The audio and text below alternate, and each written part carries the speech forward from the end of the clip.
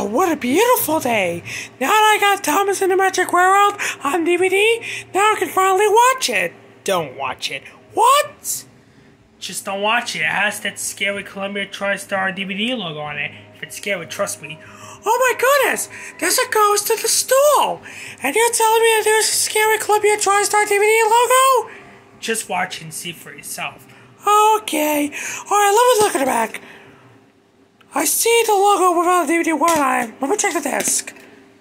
Nope, it's not on the disc, which is Bluetone. So that logo isn't anywhere on this DVD.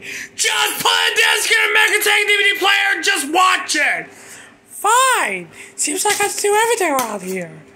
Plus, I watched this before, and it's not even scary.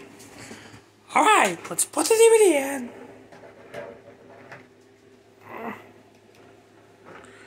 Alright, now let's see how scary this logo is.